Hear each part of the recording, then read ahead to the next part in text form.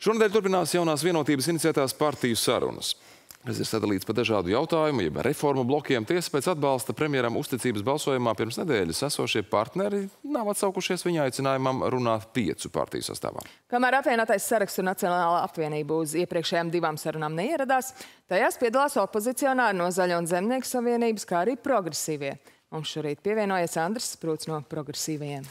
Labrīt. Labrīt. Labrīt. Protams, par valdības koalīciju, bet iesākumā gan mēs vēlamies jums jautāt kā ārpolitikas speciālistam, kā profesoram, ilgadējiem ārpolitikas institūta direktoram arī par ģeopolitisko situāciju, kā tas šobrīd viss mainās, kā izskatās pārmaiņas, pārmaiņu vēji, kā mēs sakam, jaušami, vai viss ir diezgan tādā, nu, kā sācies pērni, tā arī iestabilizējies pašlaik? Nu, jāsaka, gan, gan, respektīvi, noteikti pārmaiņu vēji ir bijuši. Eiropa ir mainījusies eh, savā attieksmē pret to, kas notiek ārpus, kāda ir atbildība, kas ir jāuzņemās. Arī šodien notiek eh, konkrēta diskusija konferences par Ukrainas atjaunošanu, tuvojas NATO samits. Uh, respektīvi, es domāju, ka Eiropa tiešām ir izdarījusi daudz mājas darbu un lielā mērā pārvērtējusi to savu ģeopolitisko lomu, ģeopolitisko vietu. Bet tas ir ilgtermiņa process. Tajā pašā laikā, protams, kad nu, karš turpinās, diemžēl cilvēku dzīvības iet bojā. Un, eh, respektīvi, protams, ka šeit ir arī svarīgi nu, tas atbalsts, par ko mēs tikko runājām, lai arī šis pretuzbrukums būtu veiksmīgs un lai kopumā Ukraina gan spētu šo karu uzvarēt, gan, protams, arī beigās nonākt līdz savas valsts un sabiedrības rekonstrukcijai, at, atjaunošanai. No... Tā kā skaidrs, ka šeit šie paralēlie procesi ir, bet eh, absolūti pārmaiņas ir notikušas, par to jautājumu nav. No publiski pieejamās informācijas, ko mēs varam spriest par to, kāda šobrīd ir Krievija? Kāda ir tās varas vertikāla? Joprojām stabila nelokāma vai tomēr Tur arī kāda pārmaiņu vēja ir. Nav vienkārši spriest, jo skaidrs, ka tā zināmā kremlinoloģija, kas tad īsti notiek, nu mēs arī taustāmies, kurš nu kuram stāv līdz kādu nu ir te izteikumi. Nu kaut kur tie padomu laiki jau vēsmo, tā kā tur tie pārmaiņu vēji īpaši nav bijuši. Un kā jau ir teiciens, Krievijā viss var mainīties 20 gadu griezumā, bet nekas nemainās 200 gadu griezumā. Un, teiksim, šī te autoritārā sistēma un imperialisms, nu tās ir klātesošas ilgtermiņā. Ja runā konkrēti par šī brīža situāciju, nu te var attiecināt atkal tādu, zinām, tradicionālu klasiski jau Čērčila izteikumu, ka noteikti tie buldogi zem paklāja cīnās. Un pilnīgi skaidrs, ka ir vesela virkni daž dažādi grupējumi, kas cīnās par to savu ietekmi, pa pieeju nu, ķermenim, ja pat, pat tā drīkst teikt, respektīvi Putinam. Un, protams, ka nu, zināmā veidā šeit nav vienkārši tā. Es domāju, ka tas konflikts ir un skaidrs, ka tas konflikts arī parāda to, ka nu, situācija nav stabila. Jo beig beigās šis gads var būt tāds, kad arī Krievijas sabiedrībā tā realitātes apziņa par to, ka nepavisam viss ir vienkārši nekāds ātrais uzvarošais karš nav noticis, ka iet bojā arī Krievi iedzīvotāji. Tas var arī, kā saka, iesist pa to sabiedrības apziņu. Vai tas momentāli mainīs Krievijas politisko eliti, vai tas mainīs uzreiz, teiksim, tā režīmu, nu, tā ir atkal liela jautājuma zīme, bet uh, kopumā, protams, ka es domāju, Krievija šobrīd, un teicu, ka tā režīmam ir izaicinājumi. Jāatcerās nākošu gadu, lai cik tas formāli arī nebūtu, Krievijai prezidenta vēlēšanas. Un tas nav par to, ka Putina tā kā varētu varētu neievēlēt. Tas ir par to, ka Putinam būs jāparāda to, ka tomēr šī viņa valdīšana šos jau 24 gadus ir ar zināma veidā veiksmas zīme. Nu, tas, kas šobrīd notiek un notiks nākošā gadā, tur man šķiet, ka ir zināma izaicinājuma par to, kā to parādīt, kā to pasniegt, ka viss tas, kas ir sasniegts un ir lietas sasniegts ekonomiskajā stabilizācijā, vai ne, vai tā tiešām, vai tā ir tā veiksme pēdiņās. Par eh, pretuzbrukumiem, mēs runājam, tad, protams, ka detaļas neatsēs netiek atklātas, eh, jo, nu, tīri objektīvi iemesli dēļ, lai arī pretinieks to neuzzina, bet, eh, protams, galvenais mērķis ir okupēto teritoriju atbrīvošana un nonākšana līdz miera risinājumam. Protams, tur arī dažādi piedāvājumi, arī Āfrikas valstu līderi nesen apmeklējuši Ukrainu ar, ar savu piedāvājumu, Ķīnas, kā mēs atceramies, risinājums mm. tam tika izteikts. Kā pašlaik jūs redzat to virzību pretim, nu, vispār sekmīgu virzību pretim šim mieram? Bez šaubām tas sāks ar pretuzbrukumu kā, kā militāru teritorijas atbrīvošanu, bet nu, visas tās politiskās iniciatīvas arī, kas vienlaikus tur satek no dažādiem citiem rosinātājiem pasaules līmenī. Tieši tā, tās satek, bet beigās jāsaka ļoti vienkārši. Tā būs Ukraiņa izvēle, Ukraiņas izvēle par to, kādu miera formātu, kādas miera sarunas, kādu miera rezultātu Ukraiņa vēlas redzēt. Jo viņi aizstāv savu valsti, viņiem ir jāatbrīvo savu teritoriju, un skaidrs, ka pārējie var ieteikt, var mēģināt būt kā vidutāji kaut kādā teiksim, tā, jautājumā vai kanālos, bet beig beigās tas ir Ukraiņas lēmums par to, uz kādām miera sarunām viņi ir gatavi iziet. Kopumā skaidrs, ka Ukraiņa nebūs gatava iziet uz miera sarunām, kamēr teritorija nav atbrīvota. Nu, līdz ar to mēs atgriežamies arī pie kaujas lauka. Kaujas laukā mēs redzam pozitīvas tendences, bet skaidrs, ka mēs daudz lietas nezinām. Un vēl mēs arī nezinām, kā tas teiksim, var attīstīties. Mēs uh, atkal vēlamies Ukraiņai, protams, izdošanos, un to, ko jau minēju, Eiropa un Rietumu kopumā ir ļoti daudz ko devuši un atbalstījuši. Un tieši tā arī šis precizbukums tiek īstenots arī ar, ar, ar ieročiem, kas, kas tiek dot no rietumiem.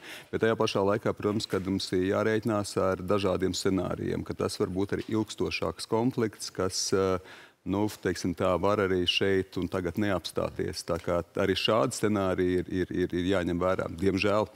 Nozīmīga loma, protams, vienmēr ir arī tādā vērtiem smagsvaru spēlētājiem. Um, ASV valsts sekretārs Blinkens uh, tikās, viņam bija delegācija, uh, viņam, viņš uh, bija devies vizītē uz Ķīnu. Ķīna solīja, ka neapbruņos Krieviju ar letāliem ieročiem ciņai pret Ukrainu. Uh, te pašā laikā, dienu vēlāk, prezidents Baidens prezidentu Sī nosauc par diktatoru. Kāda dinamika, kā, kā tas būtu raksturojams? nu, mazliet jāsaka neveikli. Jo kopumā precīzi tas, ko mēs iepriekš runājām par šo, šīm miera sarunām, un viens miera sarunas, ko noteiks Ukraina, to rāmi, bet tajā pašā laikā skaidrs, ka ir mēģinājumi nu, tajā plašākajā formātā darboties arī lielvalstīm, un ASV arī izsaka tos savus signālus. Un skaidrs, ka Ķīna ir nozīmīgs globālais spēlētājs, ne tikai ekonomiski un politiski, bet arī konkrēti šajā konfliktā tomēr precīzi. Tā apbruņot vai neapbruņot, dodot iespējas arī Krievijai, teiksim tā, kaut kā papildināt tos resursus. Tā kā šeit jā, bet vēlreiz neveikli. Bet kopumā nu man ir jāsaka, ka kopumā, protams, ka tā tendence, es teiktu, tā ir ar nelielu pluszīmi bijusi pēdējā laikā. Respektīvi, tas mēģinājums nogriezt attiecības ar Ķīnu, nu viņas tā kā noliktas malā. Apusēji tomēr ir mēģinājumi meklēt, meklēt šo kompromisu. Arī tikko ir Ķīnas premjeras ieradies Vācijā. Un eh, šeit eh, līdz ar to tas tāds pilnīgi attiecību nodalīšana vai pārtraukšana, viņi nav dienas kārtībā. Drīzāk ir par to, ka mēs novēršam savstarpējos riskus, bet mēs turpinām sarunāties, mēs turpinām būt arī partneri plašākos jautājumos, piemēram, klimata jautājumos, bet tā skaitā mēs cenšamies arī veikt šīs te, teiksim, tā, sarunas, kas attiecās uz mieru, tā skaitā arī Ukrainā. Tā kā šeit es tā ļoti ceru, ka nu, šie neveikli izteikumi, uh, nu, tas nebūs tomēr tas, kas ietekmēs vai sabojās tomēr to attiecību vilcienu, kas ir uzlikts uz sliedēm, kas iet zināmā veidā nu, lietišķā un konstruktīvā virzienā. Bet skaidrs, ka beig beigās eh, nu, attiecības nebūs vienkāršas, un tie izteikumi par to arī apliecina.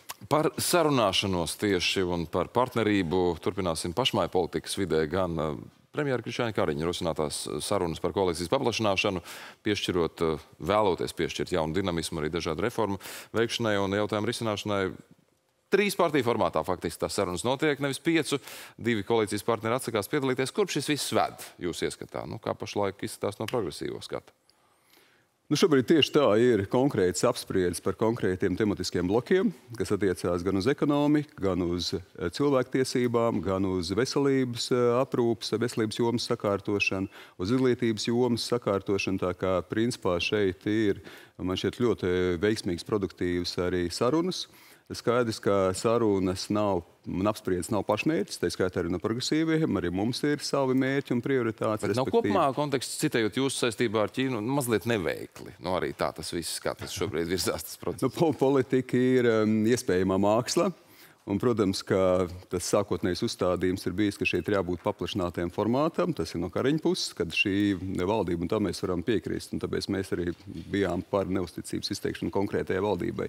Ja mēs uzskatījām, ka šī brīža valdība un koalīcija buksē, un ka šeit ir iespējams uh, gan piedot papildus dinamiku, gan arī respektīvi, teiksim tā, uh, tās prioritātes izvirzīt, kas ir svarīgas uh, gan progresīvajiem, gan mēs uzskatām sabiedrībai kopumā. Stambulas eh, konvencijas ratifikācija, kopdzīves likumdošanas sakārtošana, protams, kā izglītības eh, jautājumi, ja tā var teikt, veicināšana, finansējums, gan, protams, eh, veselības aprūpas jomas sakārtošana, finansējums, sistēmisks finansējums. Tā kā tie ir tie mūsu mēķi, ko mēs uzskatām, kas kopumā priekš valsts būtu arī svarīgi, un, respektīvi, nu, šīs sarunas arī virzās uz priekšu, un, kā es jau teicu, viņas ir konstruktīvas, no ar kādu gala rezultātu tas noslēgsies, tas jau ir daļai šīs miedarbības eh, tā, rezultātā.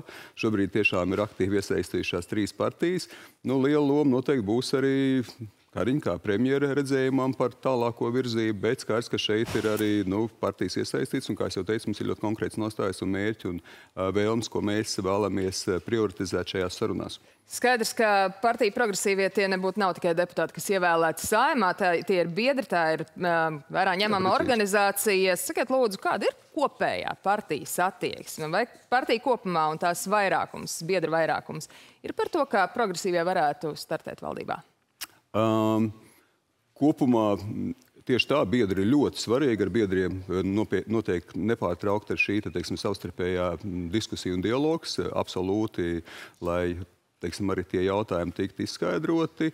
Un, protams, ka kopumā priekš eh, biedriem, priekš politiskā spēka ir svarīgi realizēt politiskos mērķus, politiskās prioritātes. Un tas, ko es jau teicu, Stambulas konvencijas ratifikācija, kopdzīves likumdošana, sakārtošana, veselības aprūpas, eh, sakārtošana, finansējums, izglītības finansējums.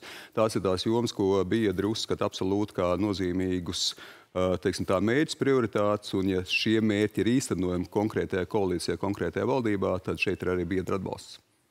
Vai progresīvi arī cenšas iezīmēt kaut kādas noteiktas vietas eh, sev, ja šī potenciālā valdība vai tās paplašinājums vai tās restarts taptu, vai jums ir kaut kādas noteiktas, eh, nu, aktualizētas iespējams eh, nozars? Par ko jūs vēlētos eh, vairāk iesaistīties ar savu atbildības daļu? skaidrs, ka mēs šobrīd par kaut kādiem konkrētiem amatiem nerunājam ļoti tālu, jo arī jūs jautājumā par to, kur tas virzās, nu šeit vēl ir, mēs esam tematiskajās darba grupās, mēs esam izteikuši savu konceptuālo nostāju, mēs vēlreiz esam izvirzījuši tās savas prioritātes, ko mēs vēlamies eh, redzēt. Tā kā šobrīd mēs, protams, ka runājam zināmā veidā par prioritātēm, kas saistīts ar konkrētām jomām, bet tajā pašā laikā mēs nerunājam par jomu sadalīju potenciāli kaut kādā esošajā valdībā vispirms jāvienojās savstarpēji gan par prioritātēm, punkts numur viens, gan potenciāli, nu tad jau jāskatās, kāds ir šis te formāts, kas arī šī, šo te diskusiju rezultātā izveidojās. Nu, ko mēs arī ļoti citīgi, protams, sekosim līdz šīm sarunām. Paldies! Jā. Paldies, Katāns! Paldies jums un visiem priecīgs arī svētkus! Priecīgs svētkus! Paldies!